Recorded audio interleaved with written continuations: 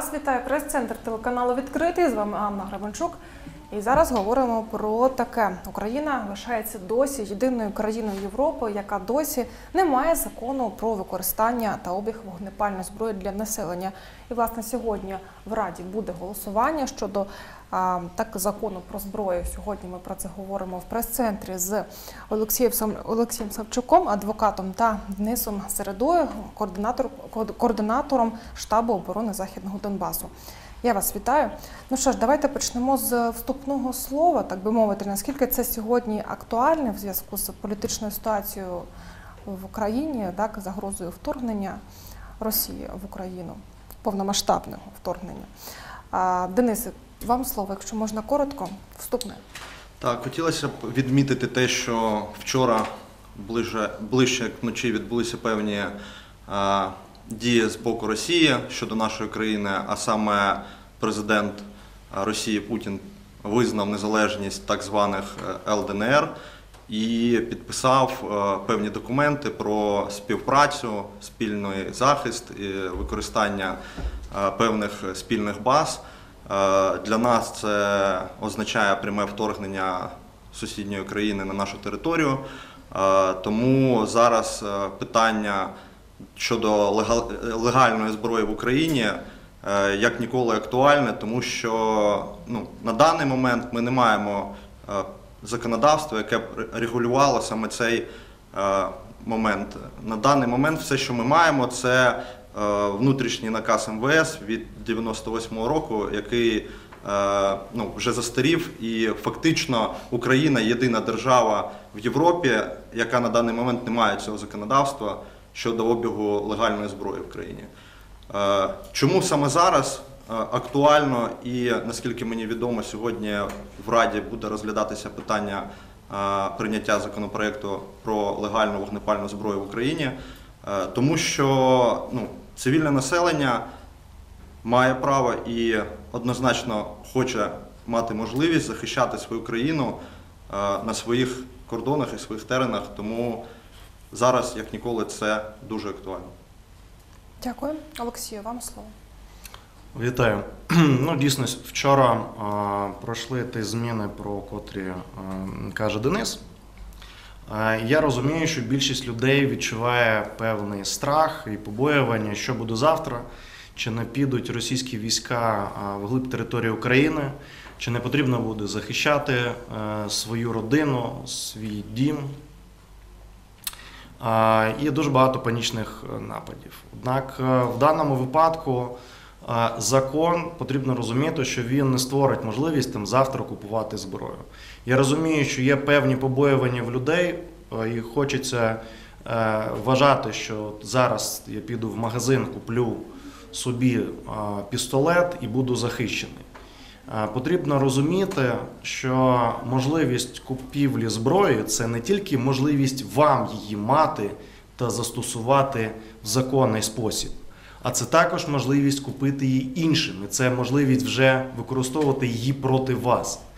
А, і потім, якщо навіть хтось доведе, що це використання зброї було протиправним, то вам, на жаль, це може вже не допомогти. Тому відноситись до прийняття цього закону потрібно досить виважено. Він дійсно потрібний. Я погоджуюсь з, із Денисом і з багатьма людьми, однак потрібно виважено підійти до прийняття цього закону. І більше того, це не ця ситуація не може вирішуватись одним законом. Це перф- певна реформа, і потрібно буде приймати зміни як до ведення реєстру цієї зброї, ведення реєстру власників зброї. Сьогодні воно ведеться МВСом виключно.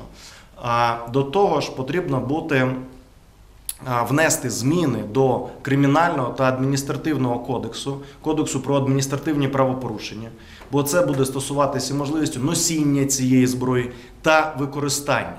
І отут встане дуже велике питання, що буде вважатися правомірним застосуванням зброї, щоб не призвело це до того, що буде дуже велика кількість жертв.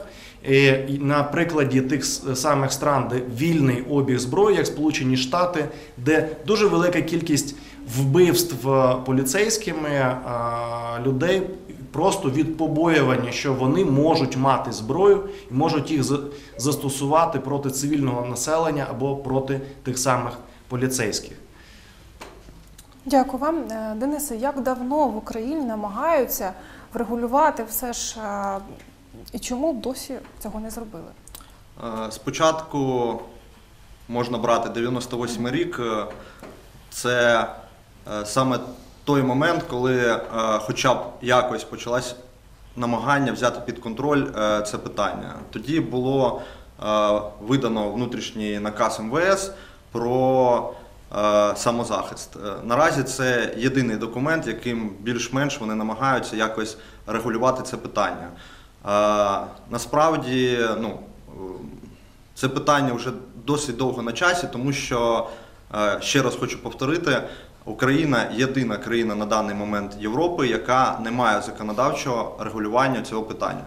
Тому дуже важливо, особливо саме зараз, е, взяти під контроль це питання, е, тому що хочу до прикладу привести, ми живемо в воюючій країні, і за статистикою е, мільйон одиниць вогнепальної зброї е, є наразі зареєстрованою, і понад 5 мільйонів там за підрахунками не є легальною вогнепальною зброєю, але знаходиться на руках у нашого населення. Десь приблизно так. А, Олексію, як багато законопроєктів є? Їх два. А, Чому їх два? Е, Вони іден- ідентичні або ні? Чи це просто від різних партій е, да, подані вони? Е, Дякую. Там дійсно є певна відмінність від політикуму. Взагалі зараз розглядаються. Ну, е, є два закони 5708 та 5708.1. В них є певна відмінність, однак е, вважаю, що ну, по-перше, е, що в них е, хорошого? Це перший раз, коли дуже добре розписані терміни. Це позитивно відрізняє ці закони від попередніх та взагалі від законодавства України. Бо коли приймають закони, потім не зрозуміло про що той чи інший термін цього закону говорить, і потім вже в суді розбираються. Тут дуже багато часу присвячено саме термінам. Однак, е, як я вже говорив, е, сам, оди- сам по собі закон він не може бути регулювати е, взагалі е, системою цих правовідносин. Закони про обіг зброї намагаються ввести вже давно. Вже були в минулому році дуже е, активно. І просувають їх здебільшого асоціації пов'язані з ну, є Всеукраїнська асоціація власників зброї. Ну, лобісти, е, котрих пов'язують з тими компаніями, котрі е, зацікавлені в е, продажу зброї на території України. Тому нам потрібно, ну, в нас же ж мета стоїть не в тому, щоб збільшити обіг зброї в Україні, щоб хтось заробляв на цьому гроші, а для того, щоб захистити населення і захистити тих людей, котрі хочуть боронити країну і свою домівку з, зі зброєю, а також тих, хто е, хоче просто відчувати себе захищеним е, і не хоче взагалі е, тримати цю зброю в руках. У нас дуже багато і жінок, і старих, і дітей, і хто їх буде захищати. Тому ну, там, стосовно законодавства, зараз е, лобісти вважають, що в них дуже добре вікно можливостей, саме тому, що є панічні настрої в населення, і зараз можна буде дуже швидко протягнути цей закон. Ну а подивимось вже, як на це відреагують депутати. Я думаю, що ну, там, все одно це буде декілька читань. А, і навіть якщо приймуть, то потрібно буде вносити до них певні зміни. Дякую. Також Так? е, хочу додати, е, є певна різниця в е, монополії контролю між 5708 і 5708.1. Е, Ситуація така, що в першому законі МВС має більше монополії, і там також є така внутрішня ситуація поміж тим, хто буде контролювати, видавати дозволи. Є така підміна наразі. Більшість е, одиниць е, травматичної зброї, так чи інакше, все це проходить через е, МВС, через навчання в МВС.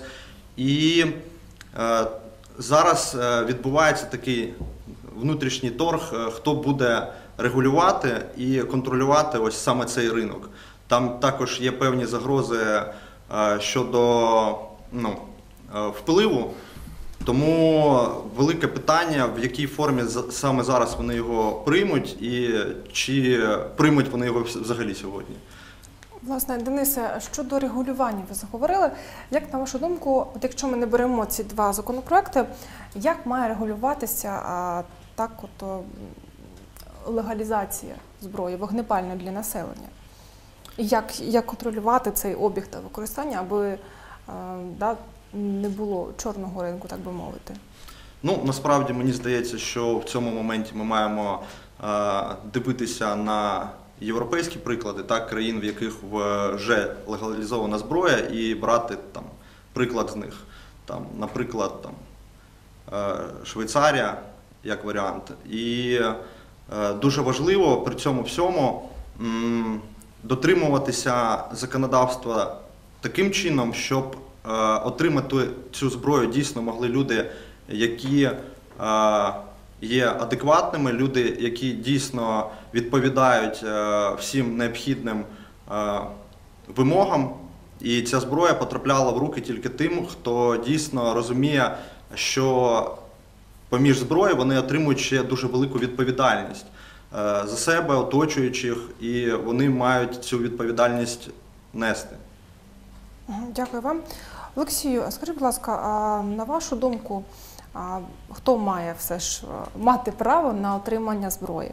От е, юридично або з точки зору психології, так е, там людина повинна Ну, пройти. дивіться, в першу чергу потрібно ну не просто дивитися на яке законодавство європейське. Потрібно розуміти е, певні аспекти, яким чином ти саме Швейцарія там володіє зброєю, або ну там не тільки європейський досвід. Тому я і кажу про те, що потрібно, щоб е, дійсно е, працювала робоча група, котра б вивчала е, можливості е, прийняття цього закону. І до того, щоб люди мали можливості, так само розуміли, як нести відповідальність. І самі Швейцарії це стосується людей, котрі пройшли військову службу, і в них е, зброя залишається від військової служби. Є різне законодавство в, тій самій Європі. Є дуже багато е, чинників для того, щоб е, скасувати там поправку навіть в Конституції США стосовно носіння зброї. Є дуже багато людей, котрі про це виступають, там демократи в першу чергу. А, тому ну, тут немає якоїсь ідеальної моделі сьогодні в світі, як потрібно. Я можу сказати, як сьогодні, якщо ви хочете захищати свою домівку, як сьогодні можна простіше отримати зброю. Це вступ до територіальної оборони. Саме тому там дуже велика черга. Вона дає можливість значно в простіший спосіб отримати можливість отримати там зброю. Тобі потрібно, ну вже кажуть, що на 80% і більше е, територіальна оборона вже сформована, там лише 10 тисяч осіб. Власне, в четвер е, в прес-центрі телеканалу відкритий о 12.15 ми говоримо про е, Супер. тероборону. Не, невеличку, невеличку рекламу Реклама. навіть встигли вставити. Це круто.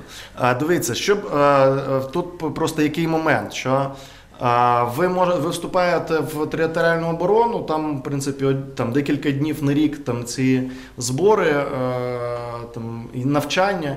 І якщо у вас є довідка про те, що ви не наркомани від психіатра, довідка про несудимість. Ви, підписавши контракт з територіальною обороною, вже можете йти і м, маєте можливість купити зброю. Ну, як кажуть, сьогодні вже карабінів та іншої зброї її в, в магазинах просто немає, так само, як і набоїв. Це дійсно так. Так, Наразі це так. не гречку піш- пішли вимітати, а саме зброю та набої. Тому, ну, якщо хочеться захищати країну та домівку, є наразі можливість і не потрібен ну, сьогодні там закон, а от конче там сьогодні потрібно приймати, щоб завтра йти в магазин. А, тому е, тут не просто там люди, е, з, щоб вони були е, психічно виважені. Однак нам потрібно розуміти те саме, які в них настрої. Щоб не було в нас можливості отримати здесь, тут в, в Україні озброєних людей, котрі будуть ну, взагалі-то виступати не за Україну як таку. Дякую. І є така теза: вбиває не зброя, а вбиває людина. Хотілося б мені, щоб і ви, пане Олексій, і ви, пане Денис, це прокоментували. Денисе, почнемо з вас. Ну, по-перше, я хочу сказати, що е, зброя це всього-навсього інструмент, такий же інструмент, як і вогнегасник, насправді. Е, також хотілося б додати важливу, таку от, е, важливий нюанс. Е, найпопулярнішим інструментом е, вчинення злочинів в нашій країні за статистикою МВС є е, звичайний кухонний ніж. Тому е, дуже важливо розуміти, що зброя це всього-навсього інструмент, і в руках тієї чи іншої людини вона може бути як інструментом захисту, так і інструментом вчинення злочину. Олексію, може у вас інша точка зору? Е, так, ну тому що це трошки передіргування фактів, е, тому що ніж дійсно кухонний він стає предметом е, травми та вбивств в побутових спорах в- домашніх. Коли люди вдома там ріжуть ковбасу, потім не поділили, хто там скільки е, там хто за кого, і е, той, хто програє, е, ріже там іншого. Це стандартно, зрозуміло. Однак ми тут не беремо в цю статистику ті е, суперечки та бійки, що проводяться на вулиці. І я пам'ятаю, як колись біля одного з ресторанів е, е, був застрелений з резинки. Е, людина була, що вижила, там відомий тенісист, котрий тут ну, приїжджив, приїздив е, в Дніпро. І вони не поділили щось, хтось комусь сказав під е, келехом. Вони були п'яні обидва. І якщо без зброї це просто призводить до того, що люди побили один одному пики, і це може ну, там, в лікарні або навіть там просто пішли і е, помирилися. То якщо в людини є, є з собою зброя, ну, є певні ризики того, що людина може використати її як в напрямку нападника або ну, свого адресата, або так само і про інших. Бо коли він використав, він розуміє страх, що його спіймають, бо він вистрелив зі зброї. Він може так само і на, е, свідків направити цю зброю. І е, ця ж зброя, вона ж не однозарядна. І е, скільки е, цих випадків ми бачимо і в Європі, і в Сполучених Штатах, де ця зброя використовується потім в школах, дітьми. А Потім стають питання поводження зі зброєю, як її зберігають, діти можуть мати доступ просто до зброї, до зброї батьків. А потім в них стають питання в школі, їх там хтось гнобить, і вони, о, маючи, маючи цю образу, Ну, ідуть до школи випадки і е, використовують проти своїх щось однокласників. додати? Так, хочу Знаєте, У нас така маленька дискусія вийшла, так, так, це добре. Це ж дуже добре. Насправді м, хочу трішки поправити і теж внести певну ясність, повернутися до того, що я сказав на початку. А, насправді понад мільйон одиниць зброї вже є. А, ще понад 5 мільйонів, які ну, поза законом також є в нашій країні. І чинний законопроект, який вони хочуть прийняти, він більше про легаліза- легалізацію короткоствольної вогнепальної зброї. Е, В нашій країні є такий певний тригер щодо легалізації зброї. Люди не розуміють, що, наприклад, е, гладкоствольна та нарізна зброя, вона в принципі є в Україні, вона торгується, її може придбати будь-хто. І е, щодо зброї, вона є. Автоматично забули. Е, так. Е, Вона є і її можна придбати, і це ну, взагалі ну, там, не питання того, що зараз з'явиться зброя у звичайних людей в Україні чи не з'явиться. Вона і так є. І використовується у злодіїв зброя, в принципі, як інструмент злочину була завжди. Е, Це більше про те, чи з'явиться інструмент захисту у звичайного населення. Тому що зброя, яка зареєстрована, це велика відповідальність. Ти знаходишся в певних реєстрах МВС і ти е, потрапляєш під певний контроль. То, чого наразі немає. Е, 5 мільйонів це дуже багато. На жаль, ефірний час скінчився, хоча я думаю, можна ще справді подискутувати. Однозначно, в Україні повинен бути закон, який е, так е, буде от саме координувати е, обіг та використання е, зброї серед населення. Я нагадую, що в наших гостях сьогодні був Олексій Савчук, адвокат та Денис Сигида, координатор штабу оборони Західного Донбасу. Говорили про легалізацію зброї. Власне, сьогодні у Раді голосуватимуть за такий законопроект. З вами була Анна Гробанчук. Дякую за увагу.